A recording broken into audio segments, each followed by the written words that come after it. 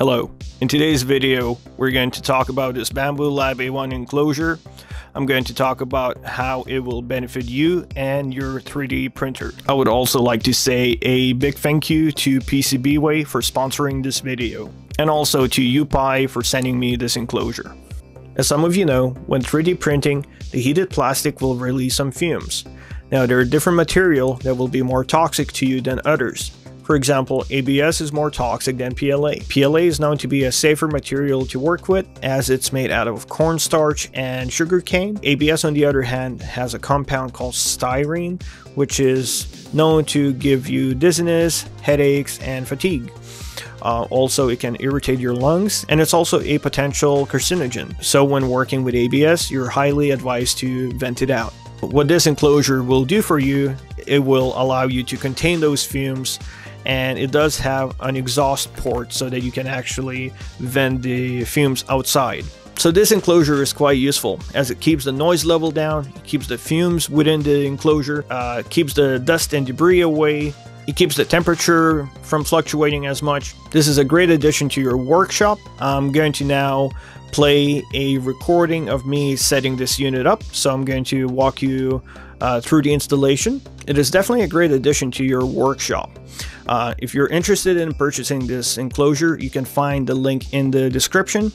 Now for this part of the video, I will guide you step by step on how to assemble this enclosure. But before that, I'd like to say a big thank you to today's sponsor, PCBWay, and show you what kind of services they have to offer. You can go to PCBWay.com, click CNC slash 3D printing, then click 3D printing service. You will see a list of different material and all their properties. Then what you can do is upload your STL file and request a quote from PCBWay. After you get your quote, you can place an order for your design to be printed with a material of your choice. Link to PCBWay is in the description. Alright, let's begin the assembly of 3D printer enclosure for Bambu Lab A1. Alright, let's begin by opening up the box. Inside you're going to find enclosure cover with instructions. Uh, our first step is to assemble the X-axis rails. Uh, what you have to do is couple them together.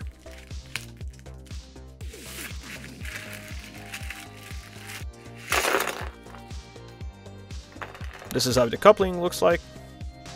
You'll take one end of the x-axis rail, couple it together, and you'll have to do this four more times.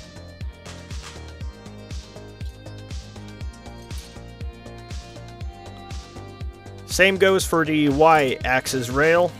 You'll do exactly the same thing. You'll take one end of the Y rail and couple it together.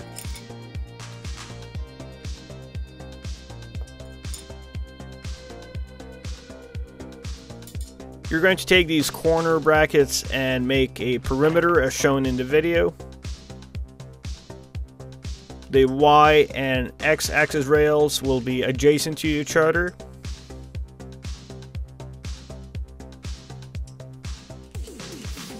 Now you're going to do the same thing for the Z-axis rail.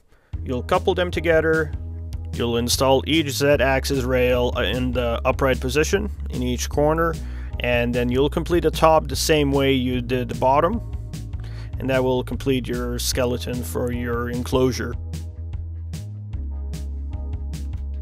For this part you'll have to grab the cover, uh, unfold it and unzip it all the way so that you can lay it on the floor. You will then need to put the skeleton on top of the cover You'll then have to pull the cover over the skeleton and secure each corner. Then zip everything back up.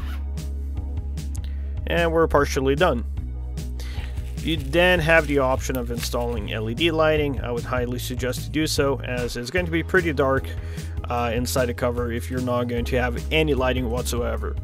They give you these mounting clips that just pressure fit then they also give you this thermo hygrometer um, and some gloves for whatever reason. I found no use for those gloves. The thermo hygrometer just pushed into the rubber socket that is in the top right position of the cover. These two rubber grommets is where you're going to push your power cord through and connect to your printer later in the video. This enclosure cover also features a pouch where you can store some of your tools. If you haven't done so, you'll have to clean up the workspace where you're going to be installing this enclosure. I had to take my whole printer out and the AMS.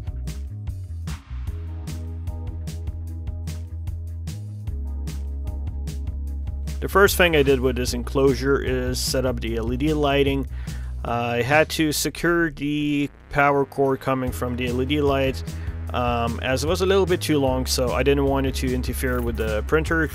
Uh, I used some zip ties and what I did was I ran the power cord along the y-axis. I just used some zip ties to secure it.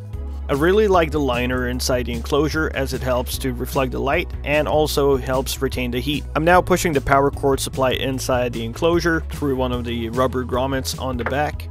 On the right side of the enclosure, you're going to find some holes that are dedicated for the PTFE tubes. Now you can bring your printer back inside the enclosure and connect those PTFE tubes into your AMS hub. Move your extruder head to make sure that it's moving properly and the PTFE tubes are not catching onto anything. I highly suggest printing a poo bucket to keep the enclosure clean. As mentioned previously in the video, I do not currently have a exhaust system set up, but I would highly suggest to do so because you do want to take those fumes in the enclosure and vent them outside. Uh, so yeah, this completes the installation and this is how the enclosure will look like when it's fully assembled. Um, yeah, let me know what you think of the product and if you're interested in purchasing this for yourself, uh, the link is in the description. Let me know down in the comments if this is something you consider buying. Let me know what you think of the product. Alrighty, this concludes today's video and I'll see you in the next one.